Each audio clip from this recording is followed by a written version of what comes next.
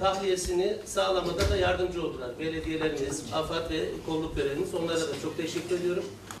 Değerli basın mensubu arkadaşlarım, ben de tabii ki böyle bir hadise nedeniyle Zonguldak'ta olmak yerine daha güzel, daha mutlu bir program için burada olmayı çok arzu ederdim.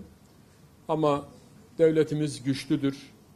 Hükümetimiz her daim devletimizin, milletimizin bütün unsurlarıyla burada Zonguldak halkıyla ve de diğer dört ilimizle birlikte bu beş ilimizde kendini gösterme arzusu içerisindedir.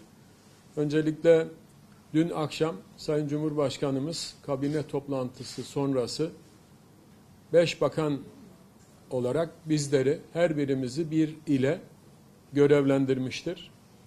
Bu görevimiz çerçevesinde bendeniz Zonguldak'ta, Sayın Süleyman Soylu İçişleri Bakanımız Bartın'da, Derya Yanık Bakanımız, Aile ve Sosyal Politikalar Bakanımız Karabük'te, e, efendim, e, Murat Kurum Bakanımız, Çevre, Şehircilik ve İklim Değişikliği Bakanımız e, Kastamonu'da, İsmail, şey, Adil Kara İsmailoğlu Ulaştırma ve Altyapı Bakanımız da o da Sinop'ta şu anda görevli. Tabii bizim birincil derecede sorumluluğumuz, görevimiz her şeyden önce Sayın Cumhurbaşkanımızdan almış olduğumuz bu talimat gereği de vatandaşımızın yanında olduğumuzu, onların her türlü sıkıntılarını gidermek üzere burada bulunduğumuzu onlara göstermekti. Burada da yerel unsurlarımız var. Bir taraftan valiliğimiz, bir taraftan belediyelerimiz, bir taraftan AFAD bu işin koordinasyonunu üstlenen bizim en önemli güzide kurumumuz, onların buradaki yerel unsurları.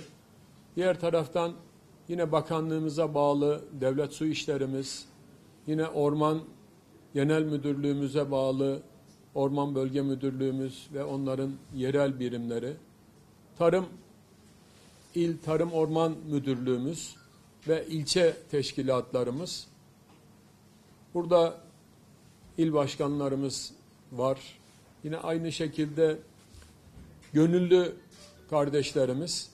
Çünkü bu AFAD koordinasyonunda akredite olan gönüllü teşekkürler de var. Onlar da bu faaliyetlerde etkin rol alıyorlar.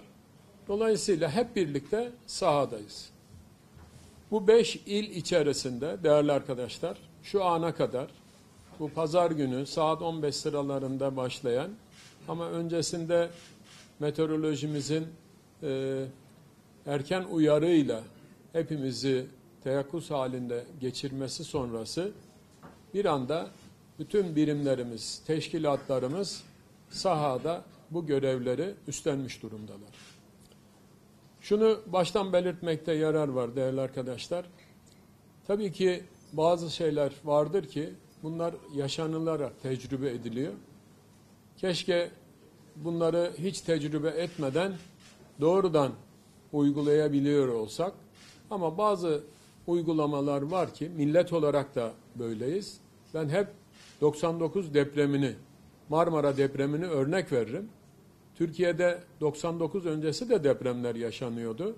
Ama 99 depremiyle birlikte Türkiye'de herkes öğrendi ki Türkiye bir deprem ülkesi. Ve ondan sonra mevzuatlarımızda olsun, davranışlarımızda olsun pek çok değişiklikler gündeme geldi. Buradan da şuraya gelmek istiyorum.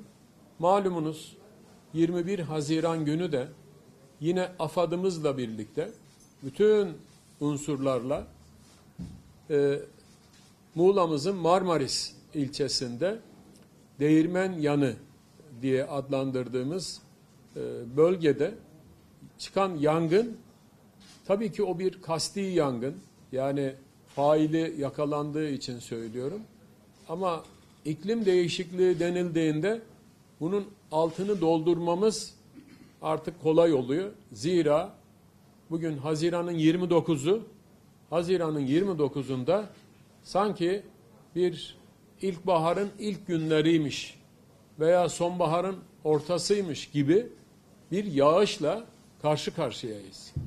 Bu işte iklim değişimi, küresel ısınma dediğimiz kavramın sahadaki, fiiliyattaki uygulaması. Bu çerçevede de burada bize gelen o mesaj doğrultusunda alınan tedbirlerle birlikte hamdolsun, şükrolsun bir insan can kaybı noktasında bir kaybımız yok. Evet maddi kayıplarımız var. Yani onu da birazdan arz edeceğim. Fakat e, hayvan konusunda da özellikle büyükbaş küçükbaş hayvan konusunda da e, zayi olan, telef olan bir canımız da yok o manada. Ama diğer canlılarla ilgili elimizde de e, ifade etmek gerekirse bir envanterimiz yok. Bundan dolayı bu beş il içerisinde Zonguldak'ımız en hafif atlatan il oldu diyebiliriz.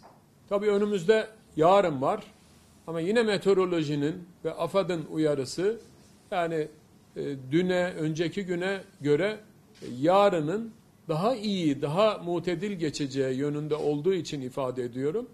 Dolayısıyla şu anda görünen şekliyle böyle bir e, Zonguldak olarak e, bir artımız, biraz pozitif düşünebileceğimiz yönümüz var. Maddi olan hususlar yerine konulur değerli arkadaşlar. Devletimiz, hükümetimiz, Sayın Cumhurbaşkanımız özellikle bu konularda vatandaşımızın en ufak bir maddi e, kayıp içerisinde olmaması adına e, bu konularda atılması gereken bütün adımları e, atacaktır. Atılması talimatını zaten bizlere vermiştir. Biz şu aşamada sadece gözlemde bulunduk. Fakat bu suyun çekilmesiyle birlikte oralara girilebilir hale geldikten sonra buralarda zarar ziyan tespitleri yapılacak.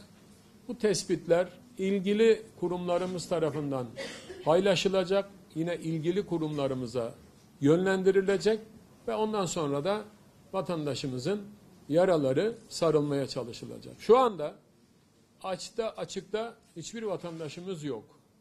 Yani bu gerçekten önemli. Çünkü evleri e, bu taşkından dolayı zarar görmüş olan e, kardeşlerimizin ki 200 civarında bunlar Kredi Yurtlar Kurumumuzun yurtlarında misafir edilmekte ve buralarda da her türlü ihtiyaçları bu kardeşlerimizin karşılanmaktadır.